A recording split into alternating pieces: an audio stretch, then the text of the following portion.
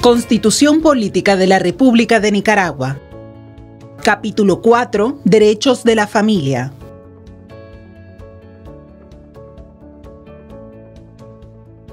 Artículo 75.